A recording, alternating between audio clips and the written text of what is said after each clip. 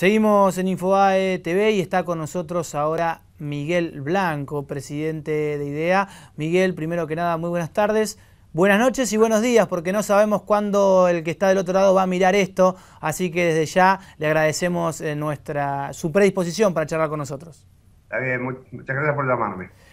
Eh, Blanco, lo primero que tengo que preguntarle es, ¿tiene alguna intuición si este globo de ensayo del proyecto que ya está en el Congreso sobre esta eh, ley de abastecimiento va a ser aprobado por el Congreso Nacional?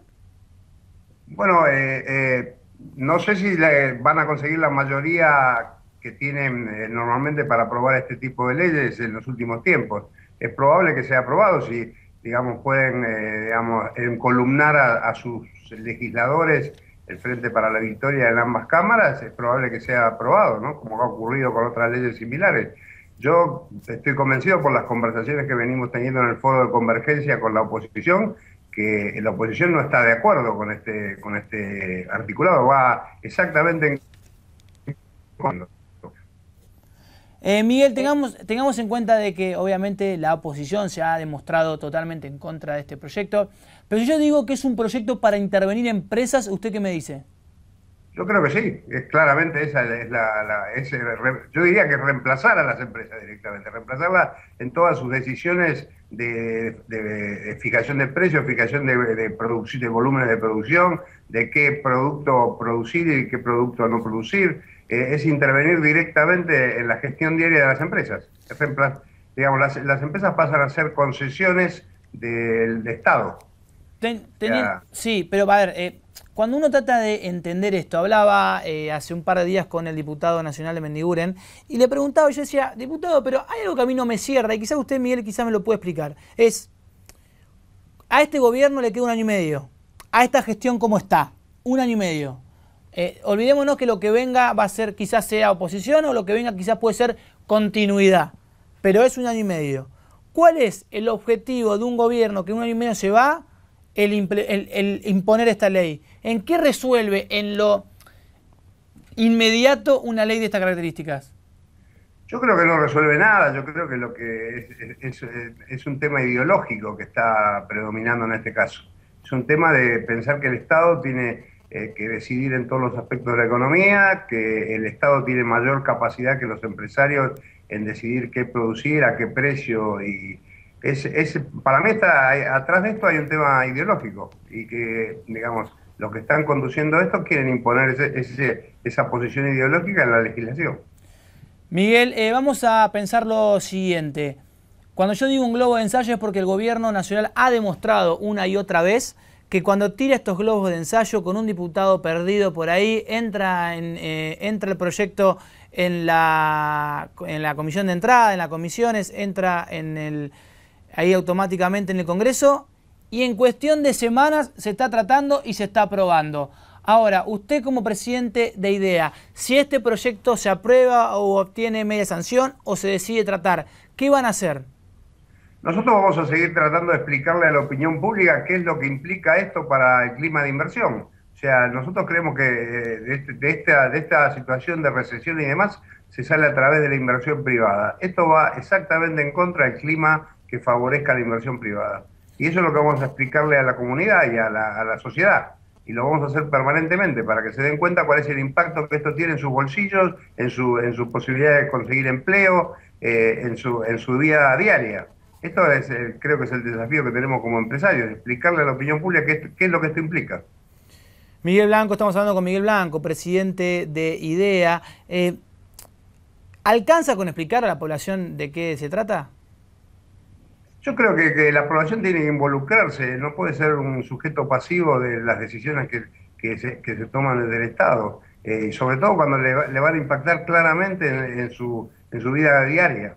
O sea, acá se han, se han destruido puestos de trabajo con cosas muy similares. Esto no es ni más ni menos que institucionalizar las prácticas que venía realizando el secretario Moreno eh, desde la Secretaría de Comercio. Esto es ponerlo en una ley. Eh, y, eso ha demostrado que ha destruido actividades como la actividad tambera, eh, la ganadería, una serie de actividades que han tenido que, digamos, que cerrar, cerrar establecimientos, y esto es más de lo mismo. O sea, eh, digamos, yo creo que, eso es lo que hay que alertar, ¿no? Blanco, la situación que se está viviendo hoy en industria, en, en distintas empresas, despidos, suspensiones masivas, cierre de empresas, es, a ver, ¿es para preocuparse? ¿Es preocupante? ¿Es un, es un clima eh, que puede ser desolador? ¿O, es simplemente algo coyuntural, estacional, que no hay que preocuparse? Yo creo que lo que está pasando, bueno, lo que está pasando es natural porque estamos en recesión y digamos hay menos ventas en, prácticamente todas las actividades eh, y entonces la gente, digamos, las empresas tienen que, eh, achicar, digamos, su actividad y tienen que bajar costos.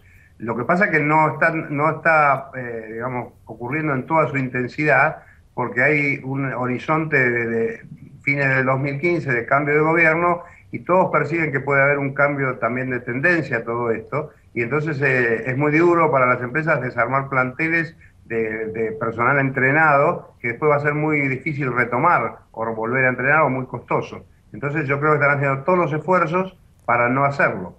Y esto es lo que eh, impide que, digamos, que, esto que está ocurriendo alcance mayor intensidad. Blanco, la última que le hago, eh, esta decisión de este proyecto, de acuerdo a la información que usted tiene, usted habla con empresarios todos los días, ¿es una decisión de la Presidenta de la Nación o del Ministro de Economía?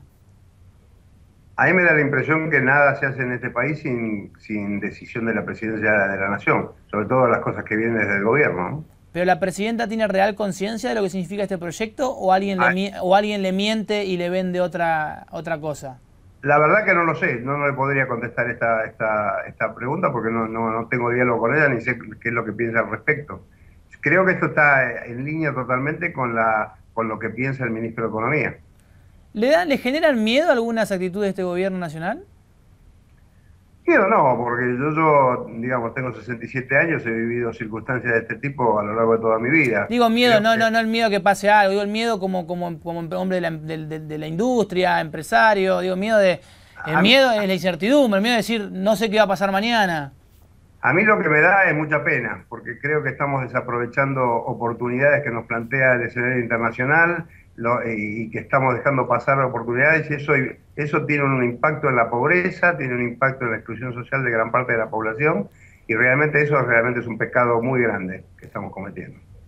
Eh, Blanco, no lo molesto más, pero cuando usted en el 2015, no me diga, obviamente no le voy a preguntar quién va a votar, pero si usted ingresa al cuarto oscuro en el, el año que viene y ve una boleta que dice Axel Kisilov, voto a Axel Kisilov para presidente de Nación, ¿qué es lo primero que se le viene a la cabeza?